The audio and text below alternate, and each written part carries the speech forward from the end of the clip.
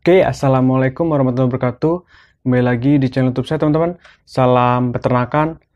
Nah, di video kali ini saya akan memberikan tips agar ternak sapi kita itu kotorannya tidak bau.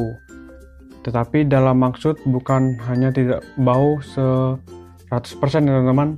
Hanya mungkin mengurangi saja. Tetapi ini juga tips ini bukan dari saya ini tips dari peternakan besar yang ada di wilayah saya yaitu di tepatnya di Lampung Tengah. Nah, ini saya sambil cerita sedikit ya teman-teman.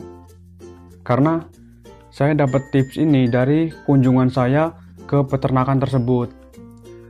Dan langsung saja saya sambil cerita sedikit dan silahkan kalian simak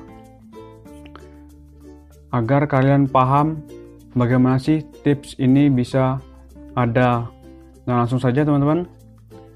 Waktu itu saya kan berkunjung di peternakan di Lampung Tengah, tepatnya di peternakan Haji Mat Aji. Nah, bisa kalian searching di Google itu sudah ada teman-teman. Itu peternakan terbesar di Lampung Tengah, teman-teman.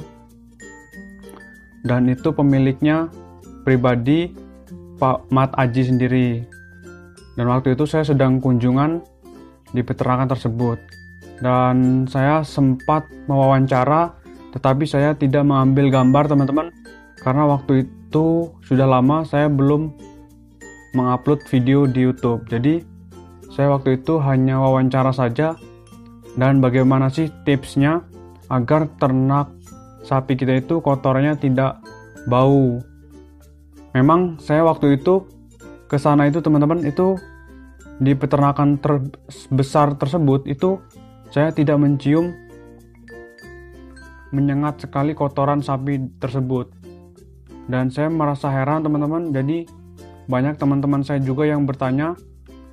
Dan alhamdulillah itu dijawab oleh pemiliknya sendiri yaitu Pak Haji Mat Aji. Dan beliau berkata kenapa tidak bau itu menggunakan tips dari pakan teman-teman? Pasti kalian penasaran ya apa sih itu pakannya? Agar kotoran sapi itu tidak bau. Dalam arti bukan tidak bau 100% hanya mengurangi saja teman-teman. Itu kata beliau menggunakan pakan bungkil kelapa sawit teman-teman. Nah beliau berkata menggunakan bungkil kelapa sawit itu lah yang mengurangi bau kotoran sapi tersebut. Mungkin saya juga kurang paham teman-teman. Ada, ada kandungan apa di bungkil sawit tersebut. Tetapi kata beliau, itulah tipsnya agar kotoran sapi kita tidak bau, yaitu menggunakan pakan bungkil kelapa sawit.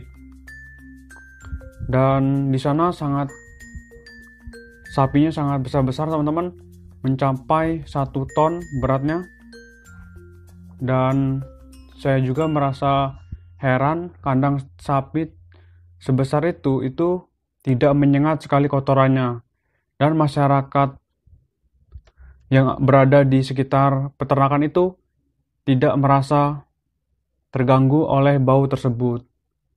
Dan sepertinya itu saja teman-teman cerita dari saya dan sekalian tipsnya.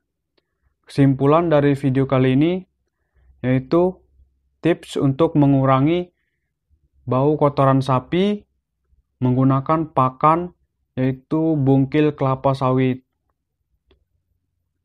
Sepertinya hanya itu saja yang dapat saya sampaikan. Semoga bermanfaat teman-teman, tetapi saya belum mencoba juga karena saya tidak mempunyai ternak sapi teman-teman. Jadi silakan kalian coba dan insya Allah beliau tidak bohong lah karena dia juga sudah mempunyai peternakan besar ya teman-teman. Oke, sepertinya itu saja yang dapat saya sampaikan. Kurang lebihnya saya mohon maaf teman-teman. Apabila bermanfaat, mohon klik tombol subscribe di bawah teman-teman agar saya bersemangat lagi membuat videonya dan membagikan ilmu-ilmu yang bermanfaat di bidang peternakan. Khususnya unggas dan ruminansia. Oke, sekian dari saya. Salam peternakan.